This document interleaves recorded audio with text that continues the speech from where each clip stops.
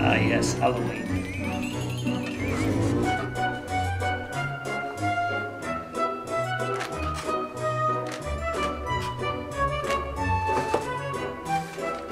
It's fake. What's up everybody? Eduardo Talbert here with Monster Tutorials. If you're new here, we make Halloween stuff like rotten pumpkins, masks, and all kinds of other cool things, plus some uh, shopping vlogs for creepy stuff, plus unboxings for stuff that people send me. But today we're doing a special tutorial. We are making some pumpkin guts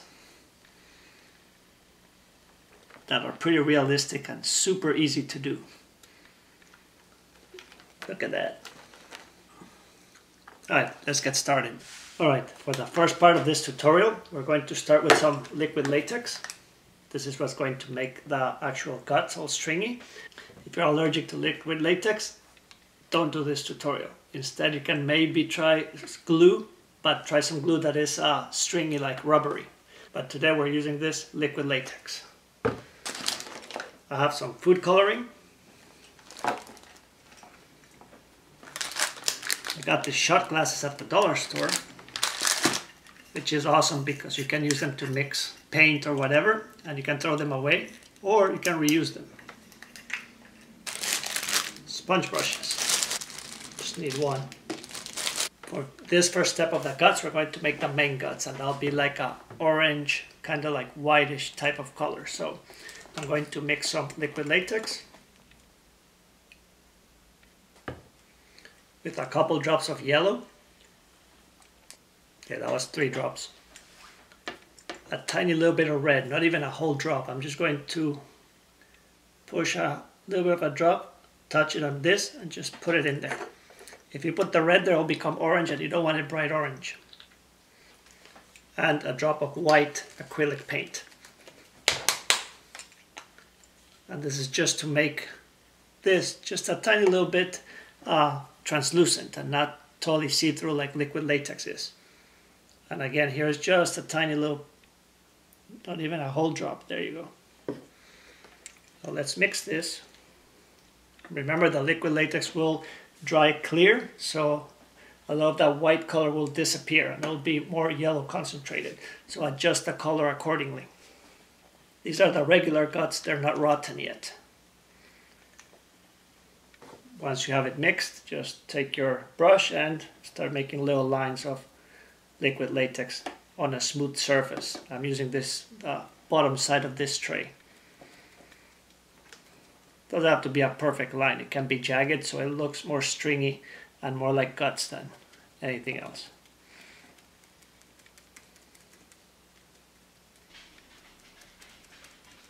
Let this dry. While that dries, I'm going to start making the seeds. And for that, I'm going to use this foam. This is just from the craft store. I think it was about a couple dollars. And I'm just going to draw some ovals like that, right, the oval, and then I'm going to split the oval down the middle, and each one becomes a seed if you round up the loose corners. So to make it easier, I'm using a ruler, put a line straight down, like that, and we are going to make those circles of different sizes. This will make it easier than drawing a bunch of loose ones all over. You can cut a strip out, sit there, turn the TV on, and start cutting these guys out.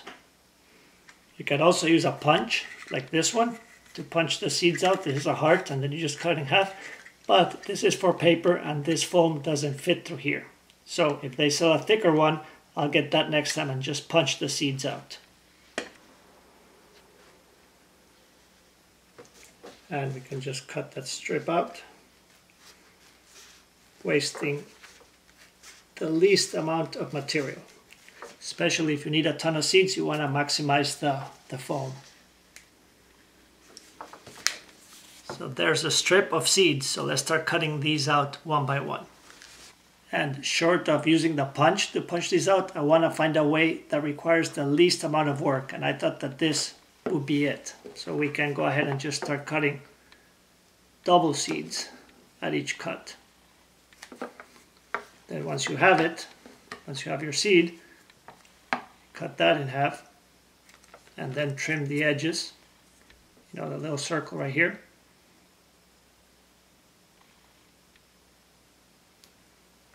And we have one pumpkin seed.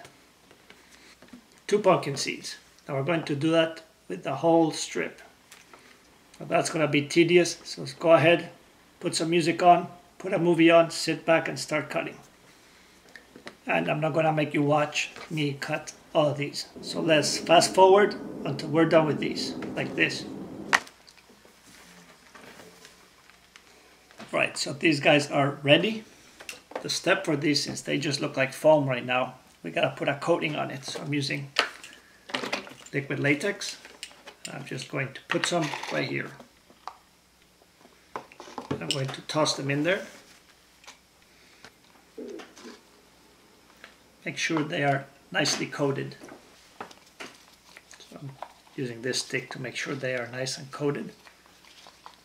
Remember that this liquid latex will dry kind of yellowish. So these guys will take a natural yellow tint. I am not adding any food coloring to these. Right, once you got that, I'm just going to take them out. Just put them right there and let it dry. Any extra liquid latex that spills will look like a little membrane or a little piece of a gut. Right, so these are done. So let it dry. I'm going to save the rest of the liquid latex.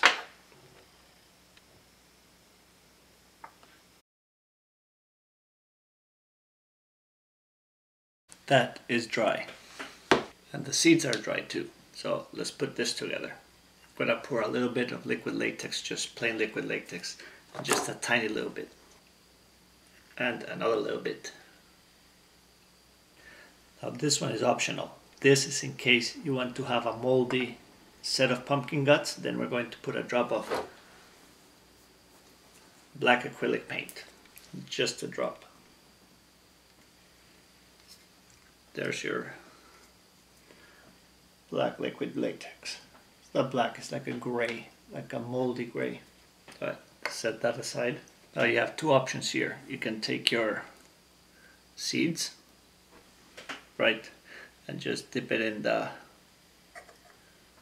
dip the end in the liquid latex just so it has something to glue on and put it on your piece of of pumpkin gut okay? And you're going to put them all along the line as many or as few as you want and then we're going to peel this off. The other option is to peel it off get it a little bit wrinkly and then add the seeds we're going to try both pick a seed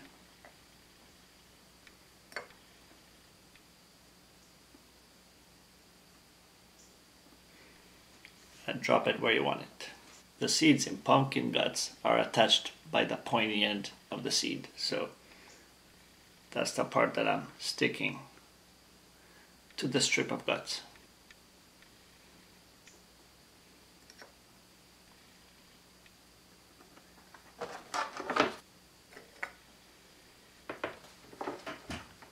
Alright, for the other style, we're just going to pull the guts off. We're going to peel them off.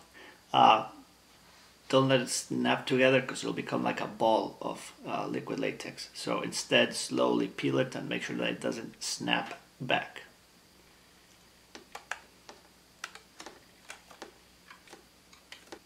Once you have the guts like this, just let them wrinkle a little bit. And then you can add the seeds. Let's finish peeling this. Alright, so there's a string of guts.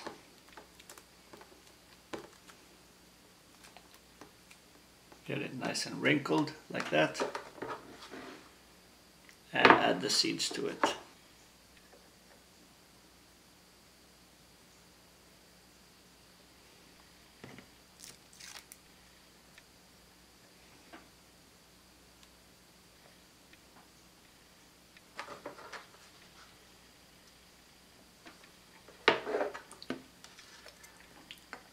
This is the perfect point to add mold if you want them moldy. And for the mold I just dip the q-tip there and just touch the areas that you want to be moldy. Don't cover the whole thing just have spots where the mold grew on the seeds and especially on the guts. And you don't have to make them moldy. I'm just using this with my rotten pumpkins for one of my challenges. So I need it to be rotten and moldy and nasty and just dab the mold because that's how it grows. It just grows in spots. Right, I'm gonna do this all over and I'm gonna let it dry. I also made the straight lines of the orange liquid latex and that is to make those long tendrils of guts. You just peel it and twist it. See, you have the little stringy stuff that comes out of the pumpkin. Okay, now it's super sticky now, but if you put some uh, silicone spray on it or some sort of silicone lubricant, this will not be sticky and you can have a handful of guts that you can use. I've added mold to all my guts, so let that dry. This is nice and dry. Peeled some of the strings and as you can see you have the range of orange to like moldy orange. So that's for the loose guts and what I do is peel it off sideways like this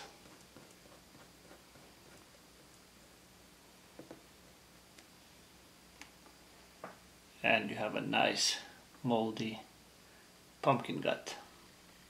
Let's peel this guy right here.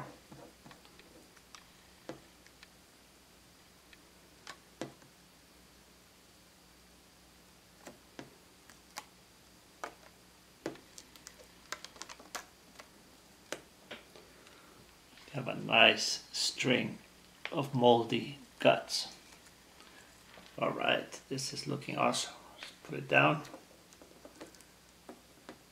We have two strings. So this one we peeled it first and then added the seeds.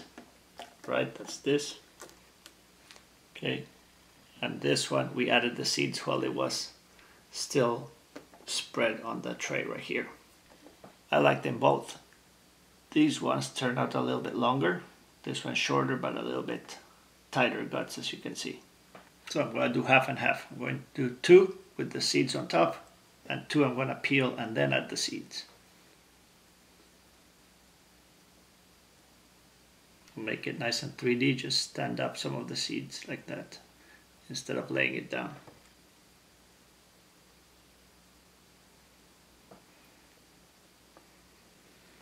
This one I'm going to peel and then we'll add the seeds. Get a nice moldy tint as you can see with the black liquid latex.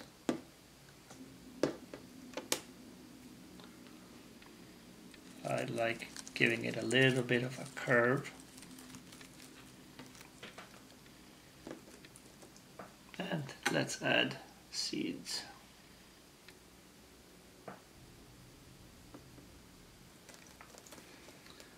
This one I think is just a little too straight, so I'm taking these membranes and just closing them, giving it a little bit of a twist. Nice. Right, so on something like this,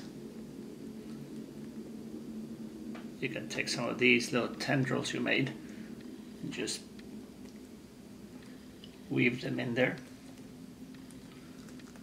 So you have more guts. These. Look at that string of guts. That looks delicious.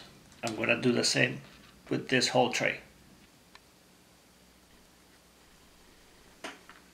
Check it out. I have peeled all the liquid latex with the seeds. Now we have all the guts ready.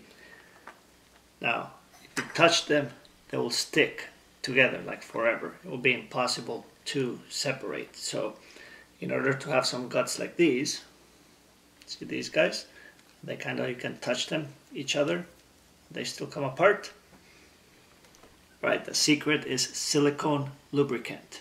Whether you buy a spray, you know, from the hardware store or go to the grocery store and get some KY jelly. It doesn't matter. It just needs to be some silicone lubricant. And you're going to take your guts, you're going to rub them with the silicone, they don't stick anymore. So now you can use it on your movie or your prop, move the prop around and this thing won't stick to everything. Actually, it won't stick to anything. So I'm gonna do the same with these guys because these are still freshly peeled. If I stick them, they'll never come apart. So I'm going to go spray some silicone on these in the garage and uh, we should be almost done. And that, my fellow prop mob, is how you make nice and realistic pumpkin guts. So if you think this is a cool tutorial right here, give it a thumbs up. If you haven't subscribed, go ahead if you like the channel and you like the video uh, because we are just getting started. So give it a thumbs up. Let me know below what you think about the pumpkin guts. Subscribe if you haven't and I will see you next time.